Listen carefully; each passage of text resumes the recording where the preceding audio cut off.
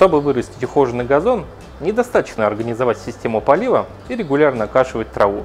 Также требуется удалять отмершие растения, мусор и аэрировать почву. Всем привет, я Вадим, и сегодня у нас на обзоре вот такая вот интересная насадка Агрифаб 3 в одном, которая может аэрировать, разбрасывать удобрения и сеять газон. Ну и давайте поговорим подробнее про ее основные технические характеристики. Данная насадка имеет пластиковый бункер объемом до 45 килограммов. Колеса здесь полупневматические, диаметром 20 сантиметров. Рабочая ширина данной насадки 100 сантиметров.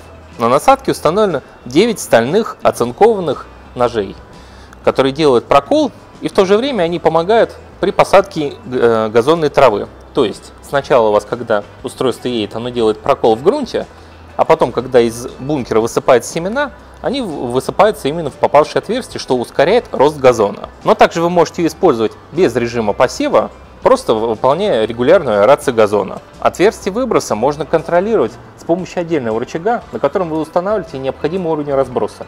Также на данном именно панели находится регулятор, чтобы вы всегда могли выставлять определенный уровень разброса не на глаз.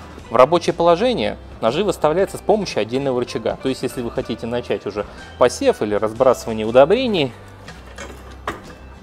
отдельный рычаг поднимаете и под собственным весом насадка заглубляется в грунт. Привод центральной мешалки осуществляется через цепь, который приводит в действие ножи при заглублении в грунт. Поскольку машина прицепная, сцепка здесь стандартная, которая подойдет на большинство садовых тракторов. Вес данной насадки составляет 23 килограмма, что вместе с объемом бункера 45 килограмм позволяет ножам наиболее эффективно заглубляться в грунт.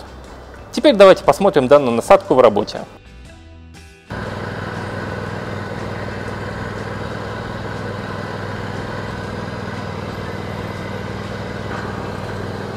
Как вы можете видеть, мы выполняем сразу две операции.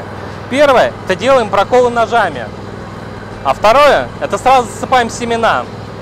То есть мы аэрируем газон и сразу подсеиваем новые семена, чтобы трава росла более густой и обновляла старую.